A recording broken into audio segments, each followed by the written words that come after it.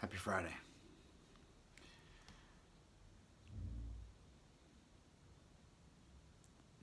The easier said than done, right? The idea or just the statement of just show up.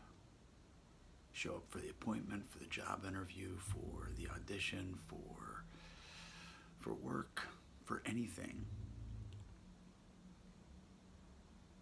And do.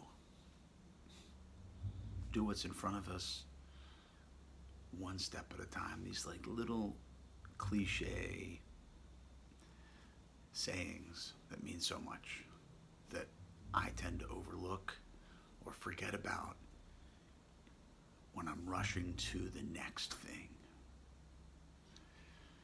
The rushing, you know, the, I gotta get it all done, I gotta fit it all in, and I forget to take a breath part of the experience. Because when I'm rushing, I, I stumble, I make mistakes, and, and even when I'm present, I make mistakes. We're human, we're all human.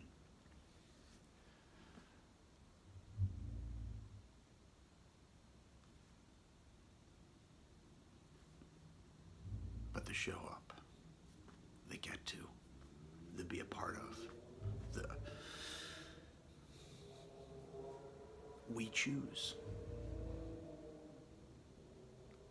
We choose to be a part of life. We choose to sit it out on the sidelines. Either one, it's a choice.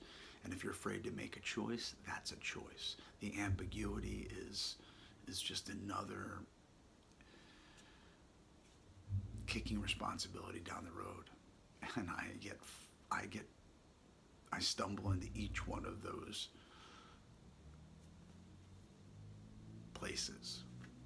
Ambiguity. Oh, I've lived there. I don't want to make a choice. I want to I want someone to make the choice for me so I can blame them. That's where I used to live all the time, afraid of choice. Is this the right one or the wrong one? It's just a choice. The sooner the decision to take one direction or the other, the sooner I'll know if that's a good, orderly direction or I need to change course. Again, sometimes easier said than done because I end up in thinking about the results of my choices or my actions and I get caught in the results and not in the process. Or I rush to get to the results and I don't enjoy the process. In any event, if I slow down and breathe, more in my body, more in the moment, more in the experience, and I get to be a part of it. And I still sometimes have trouble remembering.